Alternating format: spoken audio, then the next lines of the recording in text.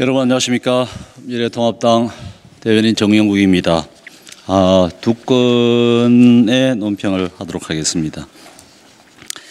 아, 첫 번째는 문재인 대통령 선거 개입은 꿈도 꾸지 마시길 바랍니다. 라는 것입니다. 문재인 대통령이 오늘 경북 구미 산업단지를 방문했습니다. 지난 2월 25일 대구를 방문한 지 한 달여 만의 TK 행입니다.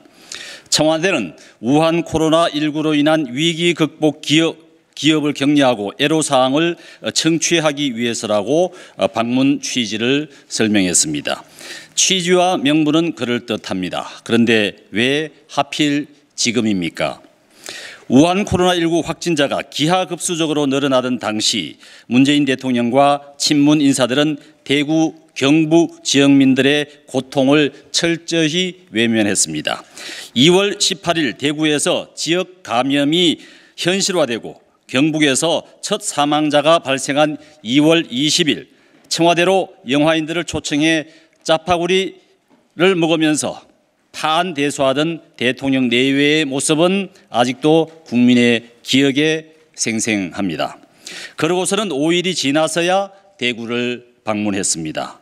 오늘 구미 방문 모습과는 사뭇 다르게 제발 내려와 상황을 직접 보고 진두지휘해 달라고 할 때는 늑장을 부리던 대통령이었습니다. 한술 더 떠 정부 여당의 인사들은 대구 사태, 봉쇄, 손절 등 온갖 조롱과 막말로 지역민들의 가슴에 대못을 받기도 했습니다. 그러고서는 구미에 가서 지역민들에 대한 사과 한마디 없었습니다.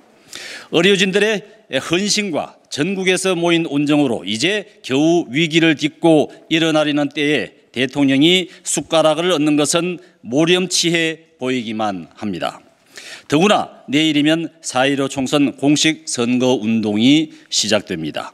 문재인 대통령이 당 대표 시절 더불어민주당은 대통령의 지방 순회를 사사건건 문제 삼았습니다. 창조 선거, 민생 행보를 빙자한 선거 개입 운운하면서 지방 순회 중단을 강하게 요구했습니다. 더불어민주당 더불어민주당의 논리대로라면 총선 공식 선거운동 개시를 불과 하루 앞둔 날 대통령의 TK 행은 선거에 영향을 미치기 위한 행위로 해석되고도 남음이 있습니다. 오늘 문 대통령의 구미 방문은 시기도 내용도 부적절합니다. 민심 위반에 다급한 마음이 알겠지만 오얏나무 아래에서 각건을 고쳐 매지 말라고 했습니다. 문재인 대통령은 행여 선거에 개입할 꿈도 꾸지 마시기 바랍니다.